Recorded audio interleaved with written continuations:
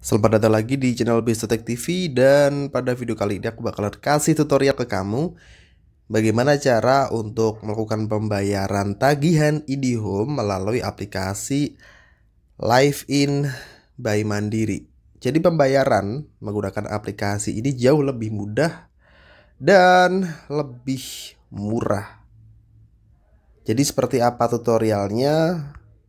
Langsung aja simak video berikut ini. Jadi yang pertama, kamu wajib punya aplikasi Live In by Mandiri ya.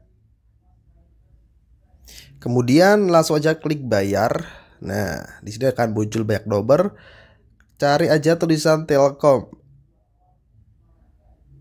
Tuh. Akan muncul tulisan Telkom atau IndiHome. Nah, di sini kita wajib menginputkan nomor IndiHome kita dan klik aja lanjutkan seperti biasa ya. Maka akan muncul sebuah tagihan berupa nominal yang akan dibayar. Kita lihat detailnya seperti ini. Dan ketika sudah benar udah yakin klik aja lanjutkan dan lanjut bayar.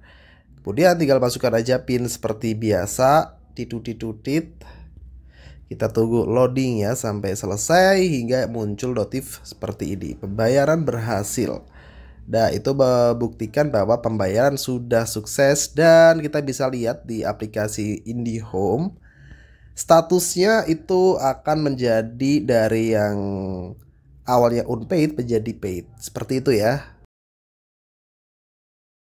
Oke, mungkin cukup segini dulu aja videoku dan semoga aja membantu teman-teman gimana cara membayar tagihan IndiHome melalui aplikasi Live In by Mandiri.